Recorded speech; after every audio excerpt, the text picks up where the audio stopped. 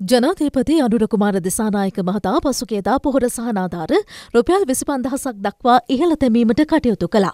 ඒත් එය තාවකාලිකව අත්තිටවන ලෙසයි මැතිවන්න කොමසම ඉල්ලා සිටියේ. ඒ ඉදිරි මහ මැතිවන්නේට ඉදිරිපත් වන අනිකුත් පාර්ශවලට අගතියක් සිදුවන බවට ප්‍රකාශ කරමින්.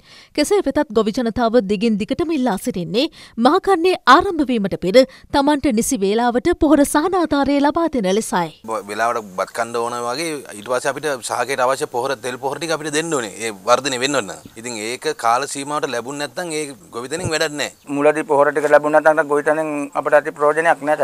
අපට ලබන මාසයේ 10 12 කට පොහොර අවශ්‍ය වෙනවා. ඡන්දය කෙසේ වෙතත් අපිට පොහොර ටික අනිවාර්යයෙන්ම ලබා දෙන්න කියලා තමයි අපි අනිවාර්යයෙන්ම මැතිවරණ කොමිසයෙන් ඉල්ලා සිටින්නේ. සාමාන්‍යයෙන් විපක්ෂයේ වෙනද කරන්නේ ආණ්ඩුව යමක් කරන්න හැදුවොත් ඒක වළක්වන එක. නමුත් අපි ඊට වඩා වෙනස් අපි විශේෂයෙන්ම අද ශ්‍රී ලංකා නිදහස් පක්ෂ කණ්ඩායම අපි මේ සඳහා සම්බන්ධ වුණේ. අපි තීන්දුව කළා තියෙනවා ආණ්ඩුව ඕන හොඳ වැඩක් කරනවා නම් අපි සම්පූර්ණ සහයෝගය ඒ වෙනුවෙන් ලබා දෙනවා. මැතිවරණ කොමිසම මේ පෝර සහන ආධාරය දෙන එක නවත්තලා තියෙනවා. ගොවි ජනතාව අපහසුතාවයට පත් වෙන කාරණයක්. ඒ නිසා අපි මැතිවරණ කොමිසමෙන් අද ඉල්ලීමක් කරා මේවා මැතිවරණයට කාට වාසි ගියත් කාට පාඩුනත් එක්ක කියන කාරණය නෙවෙයි මේ ගොවි ජනතාවගේ ප්‍රශ්නය පිළිබඳව සම්වේදී වෙලා කඩිනමින්ම මේ පෝර සහනාධාරය ලබා දෙන්න කියන ඉල්ලීම අපි අද ඉදිරිපත් කරා මං හිතනවා අපිට සාධාරණ ප්‍රතිඵලයක් ලැබෙයි කියලා. අපේ ස්ථාවරයේත් එහෙමයි සීසන්ස් තියෙනවනේ. ඒ ආකාරයට පමණයි මේක බලන්න ඕනේ. මැතිවරණයක් තියෙන නිසා ඒ සහනය දෙන්න නැතුව හිටියොත් මේක හරිම පාඩුවක් වෙන්න වෙලා. ඒ නිසා අපිත් මේ යෝජනාව ඉදිරිපත් කරන්න පුළුවන් අපිටත්